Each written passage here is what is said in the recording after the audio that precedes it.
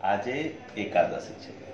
એકાદશીમાં આપણે મોરૈયાનો ભાત, બટાકાની ભાજી, એવું બધું બનાવતા હોઈએ છીએ.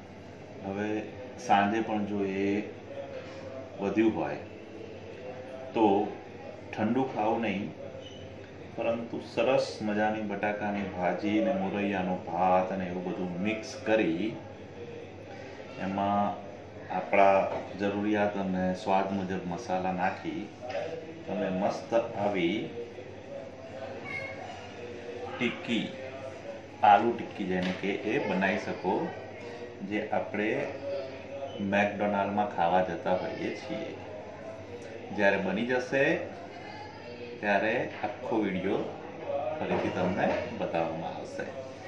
ઓકે ફ્રેન્ડ્સ જો આ આલુ ટિક્કી તૈયાર થઈ રહી છે અને બહુ જ ઓછા તેલમાં તળવાની છે.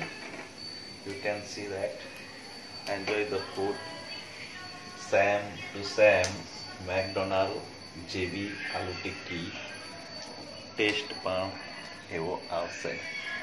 તો, અને એ પણ પાછી એકાદશીમાં ખાઈ શકાય તેવી ફરાળી છે. Enjoy enjoy guys